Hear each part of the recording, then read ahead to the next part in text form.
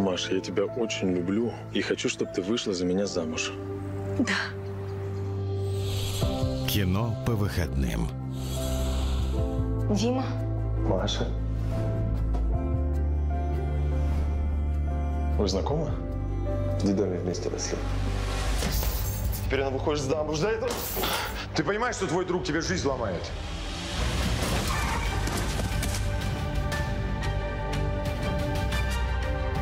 Маша, я не виновен в ДТП. уходи.